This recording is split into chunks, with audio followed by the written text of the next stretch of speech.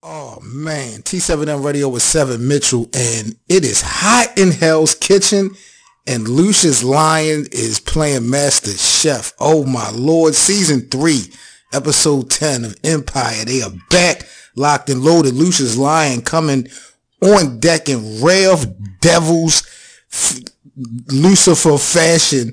You know what I'm saying? He got the Inferno album dropping now. They started this show off with Remy Ma performing. Now, Remy Ma, I, I know what y'all gonna say. It's a big look for Remy. She on the return to Empire. She doing her thing. Shout out to Remy. But that still does not deny the fact that Nicki just beat Aretha Franklin's record on the billboards. Let's be clear, Remy. This is not going to do that much for you, but whatever. But I will say this. I saw Sticky Fingaz also cameo and featured in this song.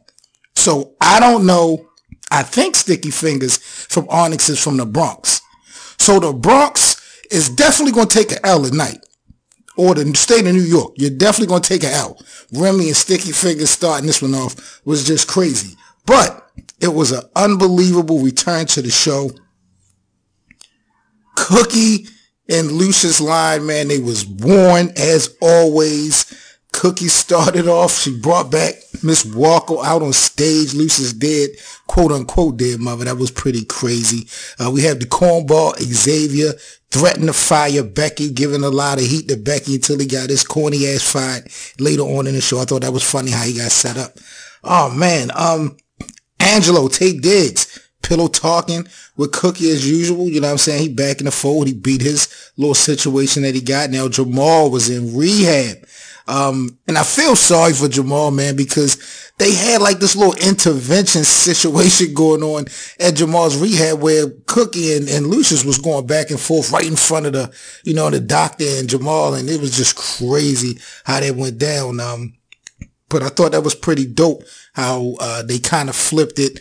Jamal left rehab with the white chick and, you know, it kind of let everybody thinking they was going kind of relapse, go get high, and they wound up going to the studio making some beautiful music. So I thought that was dope. Jamal definitely did his thing. Um, shout out to him. Shout out to the young lady. I don't know who that was, but she definitely was dope. Um, but that was crazy. Um, speaking of singing and entertainment, now Vanessa and Tiana Hakeem. I don't know why y'all keep making Hakeem looking like he's just that slick of a nigga, man. Y'all keep painting this auto-tune ass nigga in position, making him look like he that nigga, man. And he got these two girls going back and forth. Now, Vanessa had got the, the, the music showcase, um, green light and, uh, Hakeem and Tiana, they kind of, I ain't gonna say, well, it looked like an invasion, you know what I'm saying? But what the funny part about it is, you know, Vanessa and Tiana kind of got to a scrap, you know what I mean? So it was a girl fight that was pretty crazy, slapping it up. Um, and that was wild, but, um, they turned it up. I thought the song between them three was dope. Uh, uh, when I talked about Cookie and, and Lucious sparring, now Lucious, man, I mean, where do I begin with Lucious Lyon in this first episode? I mean, Lucious is a fucking gangster. Like, are, are we clear on that? Like, no matter how conniving and shaky we feel like Lucious Lyon is, when it come down to him getting his business right, and when it come down to protecting his family, man, this guy holds no punches. Now, this kid Bam Bam, who was going to apparently snitch, had something to do with the uh, Frank Gathers murder. He might have told it was going to tell the feds and turn over on Lucious Lyon. Lucious put this thing in position where as though he snatched the boy mother up. They went to his job, had him sit down, painted that lovely picture to him. Now the guy's done, you know, kind of changed his story. You're not going to be testifying apparently. So the Fed's case is kind of screwed up right now. The show is crazy. And like I said, Lucious dropped a bomb on Cookie.